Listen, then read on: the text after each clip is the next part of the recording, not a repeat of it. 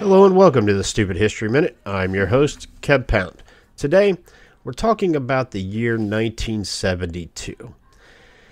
You know, in 1972, the world witnessed significant events that left a lasting impact on various aspects of history. The Cold War continued to dominate international relations as tensions simmered between the United States and the Soviet Union.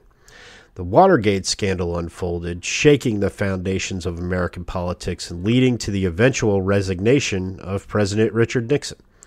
In sports, the iconic Munich Olympics took a tragic turn when Palestinian terrorists attacked the Israeli team, resulting in the deaths of 11 athletes.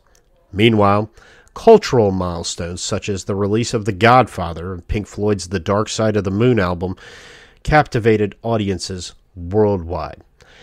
1972 was a year of both triumph and turmoil, shaping the course of global events. It was also the year that the soon to be world famous wife was born. Happy birthday. This has been the Stupid History Minute, and I'm Keb Pound.